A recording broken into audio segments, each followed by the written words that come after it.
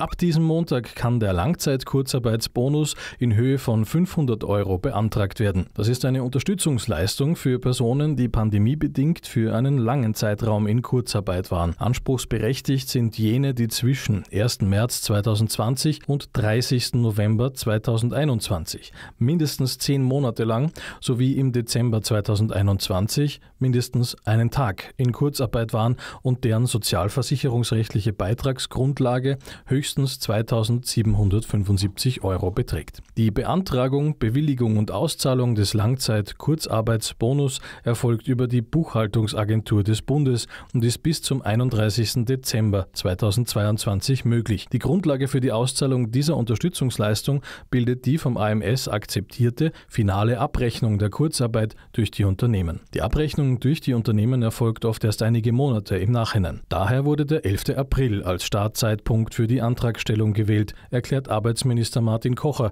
in einer Aussendung am Wochenende.